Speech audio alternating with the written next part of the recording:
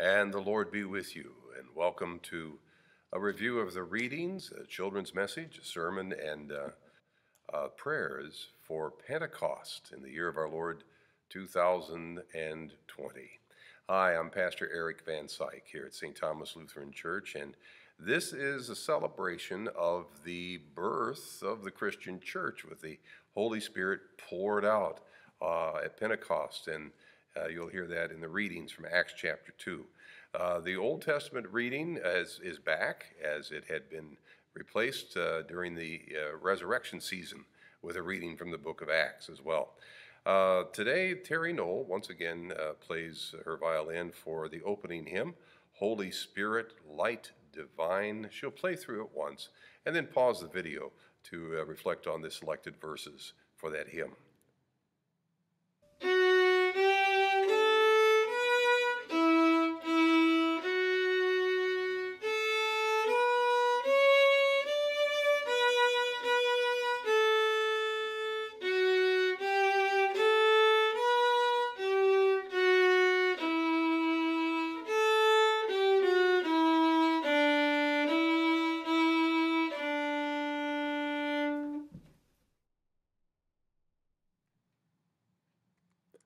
Christ is risen. He is risen indeed. Alleluia. In the name of the Father, and of the Son, and of the Holy Spirit. Amen. If we say we have no sin, we deceive ourselves, and the truth is not in us.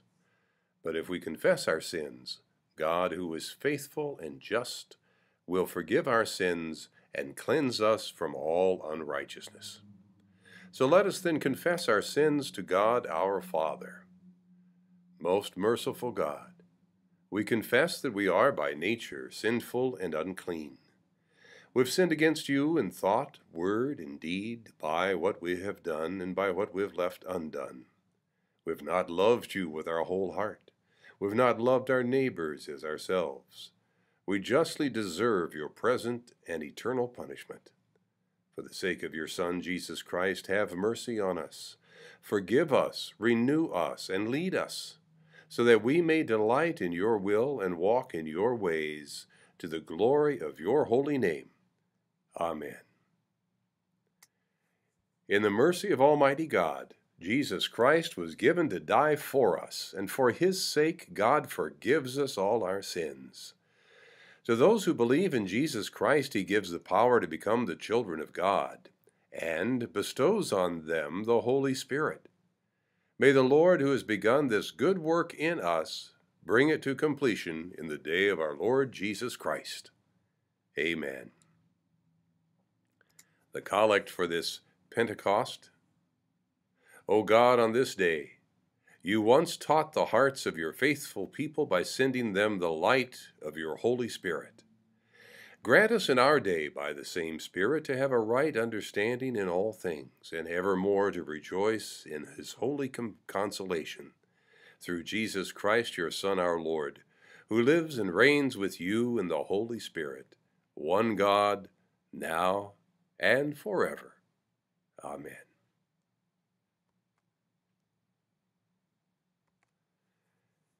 In the readings, we return to an Old Testament reading each week. After the last seven weeks, the week of Sundays of the celebration of the resurrection, the Old Testament reading was replaced by a reading from the book of Acts. We still have a reading for the book of Acts this week, but the Old Testament reading returns from Numbers chapter 11, verses 24 to 30. So Moses went out and told the people the words of the Lord, and he gathered seventy men from the elders of the people and placed them around the tent. And then the Lord came down in a cloud and spoke to him, and took some of the Spirit that was on him and put it on the seventy elders. And as soon as the Spirit rested on them, they prophesied. But they did not continue doing it. Now two men remained in the camp, one named Eldad and the other named Medad and the Spirit rested on them. They were among those registered, but they had not gone out to the tent. And so they prophesied in the camp. And a young man ran and told Moses, Eldad and Medad are prophesying in the camp. And Joshua, the son of Nun, the assistant of Moses from his youth, said, My lord Moses stop them. But Moses said to him, Are you jealous for my sake? I would that all the Lord's people were prophets, that the Lord would put his Spirit on them. And Moses and the elders of Israel returned to the camp. This is the word of the Lord. Thanks be to God. The epistle reading is the account of Pentecost in the second chapter of Acts. When the day of Pentecost arrived, they were all together in one place. Suddenly, there came from heaven a sound like a mighty rushing wind, and it filled the entire house where they were sitting. And divided tongues, as of fire, appeared to them and rested on each one of them. And they were all filled with the Holy Spirit and began to speak in other tongues as the Spirit gave them utterance. Now there were dwelling in Jerusalem Jews, devout men from every nation under heaven. And at this sound the multitude came together, and they were bewildered, because each one was hearing them speak in his own language. And how is it that we hear each of us in his own native language?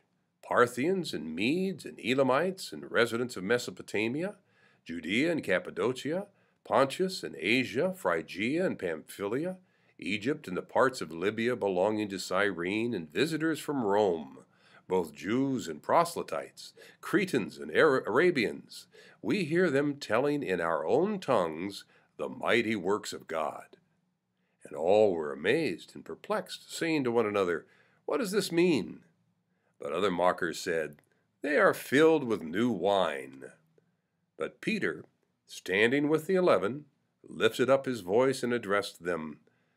Men of Judea and all who dwell in Jerusalem, let this be known to you, and give ear to my words. For these people are not drunk, as you suppose, since it's only the third hour of the day. But this is what was uttered through the prophet Joel. And in the last days it shall be, God declares, that I will pour out my Spirit on all flesh, and your sons and your daughters shall prophesy and your young men shall see visions, and your old men shall dream dreams. Even on my male servants and female servants in those days I will pour out my Spirit, and they shall prophesy. And I will show wonders in the heavens above, and signs on the earth below blood and fire and vapor of smoke. The sun shall be turned to darkness, and the moon to blood before the day of the Lord comes the great and magnificent day. And it shall come to pass that every one who calls on the name of the Lord shall be saved. This is the word of the Lord. Thanks be to God. The Holy Gospel for this Pentecost is from St. John, the seventh chapter. Glory be to thee, O Lord. On the last day of the feast, the great day, Jesus stood up and cried out, If anyone thirsts, let him come to me and drink. Whoever believes in me, as the Scripture has said, out of his heart will flow rivers of living water.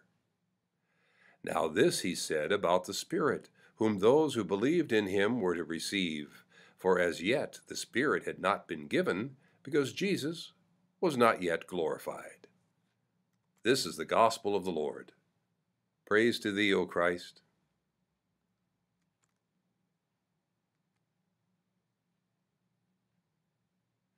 And the Lord be with you. As you can see, there's some new colors on the altar and around my neck today. It's red because it's Pentecost. And uh, this is the celebration of the outpouring of the Holy Spirit. Pouring is an important word here. As we hear Jesus saying, if if anyone's thirsty to come to him and drink, and that rivers of uh, living water will pour out from him. But you know, sometimes in life you can feel a little dry, like when you're mad at your sister or your brother, or they're mad at you, or something's just not going right, or you're hungry and it's still an hour before it's time to eat. And so you start to grumble.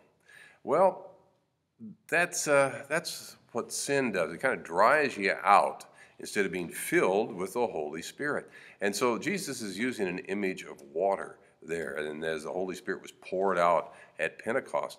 And uh, as we receive the water from the Lord, then we are able to pour that water of love and forgiveness and patience and kindness to others. It's like a sponge. Sponge are wonderful things. They're a lot of fun. And, I, and I'm going to stay dry today, but you know, a sponge is uh, it works best after you wring it out, and then it's ready to be filled with water. But then it can't hold any more water until it gets wrung out again. And our Christian life is the same way that we get filled with the Holy Spirit as we study God's Word and read God's Word and hear God's Word, as our parents tell us about Jesus and read to us from the Bible. We're filled up, and then we, it, it, uh, we can, uh, then it's time for us to uh, take that and squeeze it onto other people as we're kind to them and care for them and tell them about Jesus and how he died and rose again for us. And then it's time to get filled up again as we hear God's word and uh, learn about Jesus, and then we're able to be squeezed out as we're help other people throughout the week and tell them about Jesus. So the Christian life is being filled and then squeezed out, and then being filled and squeezed out. So it's great today that you're being filled, and now God's ready to use you throughout the week to let other people know of His love for them through the death and resurrection of Jesus. Thank you for listening as we continue now with. Uh, a look at the message hymn. Pause the video and reflect on these wonderful words to the hymn, Hail Thee Festival Day.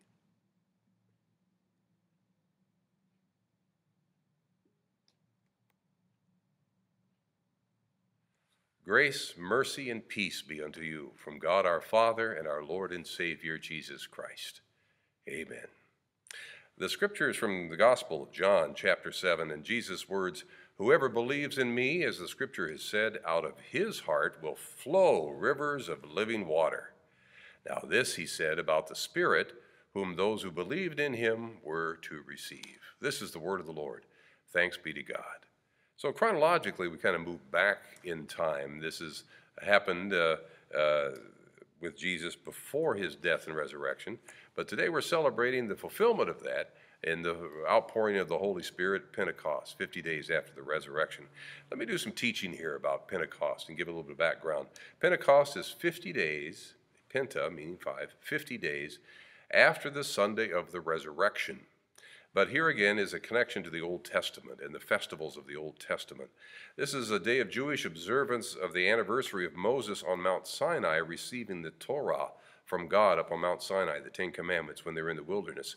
Now, that event on Mount Sinai happened 50 days after Passover. Uh, when they were released from uh, captivity in Egypt after the 10th plague and the Exodus is underway. And so that was 50 days prior to the event on Mount, uh, Mount Sinai. It's also a, a, harvest festival, a time when people would bring in the first fruits of the early harvest into the temple uh, as an offering and sacrifice to the Lord.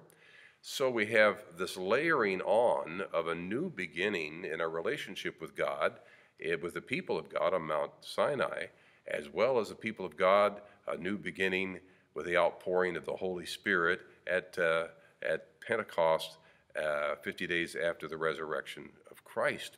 So we see this fulfillment of Christ. No longer are we slaves to sin, but we are new creations created in Christ Jesus to serve Him. And this was one of the days of obligation that when Jews from all over the world would come to Jerusalem, one of the three uh, celebrations. So God brought in the first fruits. His apostles were moved by the Holy Spirit to harvest the people of faith and bring them into God's kingdom. So Pentecost marks the covenant of Christ and the new beginning of the Christian church. Now, the, the flowing waters of life continue to flow through us as we build the community spiritually. But sometimes things can feel so dry, spiritually dry. The grind of the world's kingdom robs us of the joy of being in God's kingdom. There's a lot to be dry about this pandemic is uh, wearing people out and uh, learning to work from home, learning to school from home, uh, dangers of unemployment or underemployment. And then imagine uh, through all this to have a tornado come ripping through your community and affecting your home, or floods like in Chicago and Wisconsin and Michigan. Spiritual dryness can, can affect the decisions we make. Dryness can find yourself saying, along with a lot of people, Isn't life hard enough without this, God? Jesus knows of your dryness. He went to the cross and suffered the wrath of God who turned away from Jesus because all of our dry sin was placed upon him on the cross. The prophetic 22nd psalm describes this dryness on the cross. I am poured out like water, and all my bones are out of joint. My heart is like wax, it is melted within my breast. My strength is dried up like a potsherd, and my tongue sticks to my jaws, and you lay me in the dust of death. Jesus was moved to cry out on the cross the opening words of that very psalm when he cried out, My God, my God, why have you turned away from me? In our dryness, in our prayers of dryness, you know, we're talking to the water tower of spiritual power. That's fun. I want to say that again. So, in our prayers, who are we talking to? We're talking to the water tower of spiritual power. You're talking to God. He raised Jesus from the dead. Jesus ascended into heaven and promised the Holy Spirit would come to remind us of what Jesus taught, and the Spirit is still teaching us today. Life is tough and can feel bone dry, except for the refreshing outpouring of the Holy Spirit in the midst of it all. We're filled up like sponges so that we can be, when life squeezes us out, we can be re- renewed and refreshed by the Holy Spirit. The Holy Spirit is associated with water and new creation ever since the creation in Genesis. Chapter 1, verse 1 and 2, as we see the Holy Spirit hovering over the waters, the face of the deep. The Spirit descended upon Jesus at his baptism and, uh, is, uh, and is described as poured out onto the heads of the apostles. The Spirit is active in water as it's poured onto our heads in baptism. I recently saw a documentary. I enjoy documentaries from time to time, find them streaming online. And this documentary was about Dr. Fujita. Now, he is the gentleman who came up with the Fujita scale. It's now the enhanced Fujita scale, the EF scale, f- describing the power of a tornado based upon the amount and type of damage. So, perhaps, for example, uh, if, if leaves have just blown off a tree, that might be an EF1 uh, tornado on the Fujita scale. But if the tree is gone, that'd probably be an EF5 on the Fujita scale. Uh, so Dr. Fujita, when there was a storm, had to get there quickly to the location of the damage so he could assess the damage, because that's how he would determine the scale of the, the strength of the tornado. And he had to get there quickly because people began to rearrange the scene of the destruction as soon as they can. People are, are, driven to that. They start picking up and organizing because they want to get things back to normal as soon as possible. But sadly, with the bigger storms, there's often nothing left. There's nothing left to, to pick up because there's nothing left. And after the storms of life, you will be left with nothing because you can't take it with you. And much of what you have will be useless to you on the day of your death. Martin Luther is credited with saying, God our Father has made all things depend on faith, so that whoever has faith will have everything, and whoever does not have faith will have nothing. As Jesus said, Whoever believes in me, as the scripture has said, out of his heart will flow rivers of living water. Now, this he said about the Spirit, whom those who believed in him were to receive. So, Pentecost is a reminder of the fact that we experience supernatural power of God, the supernatural power of God. Christianity is not simply a, a rational philosophy.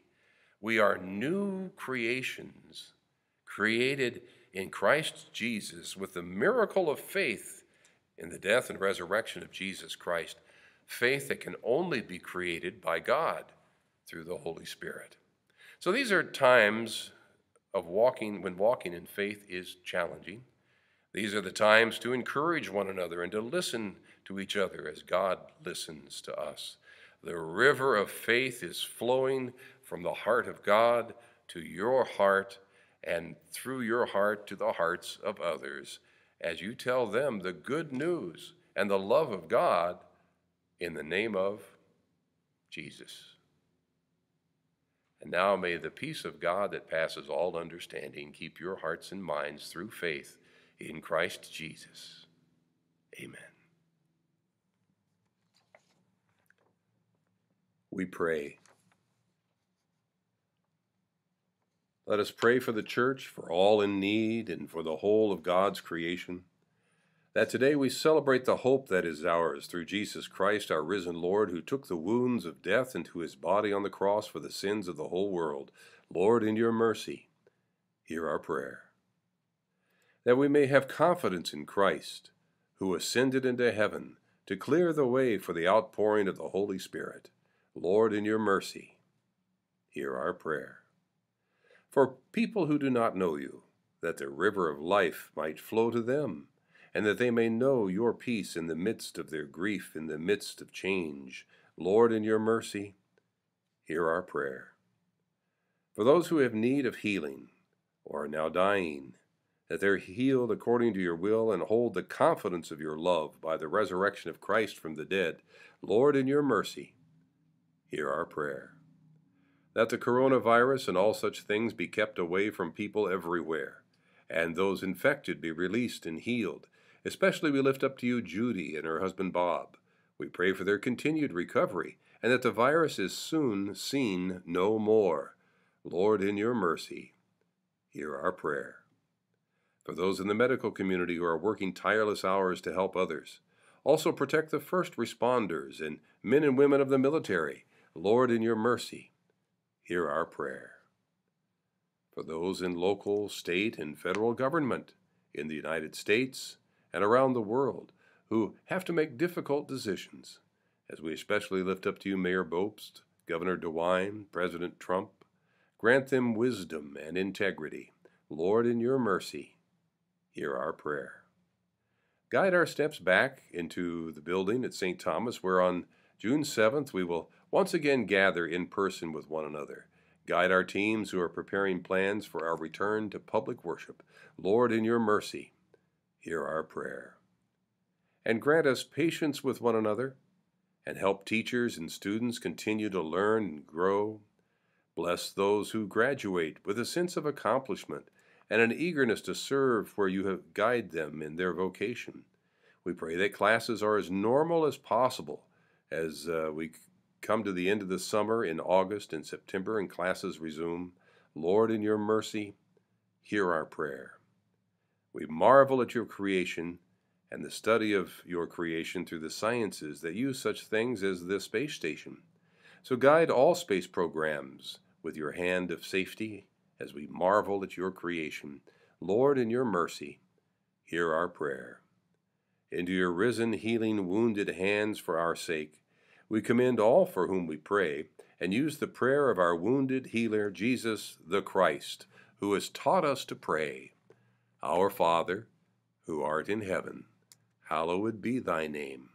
Thy kingdom come, thy will be done on earth as it is in heaven. Give us this day our daily bread, and forgive us our trespasses, as we forgive those who trespass against us and lead us not into temptation, but deliver us from evil. For thine is the kingdom, and the power, and the glory, forever and ever. Amen. The grace of our Lord Jesus Christ, the love of God, and the communion of the Holy Spirit be and abide with you always. Amen.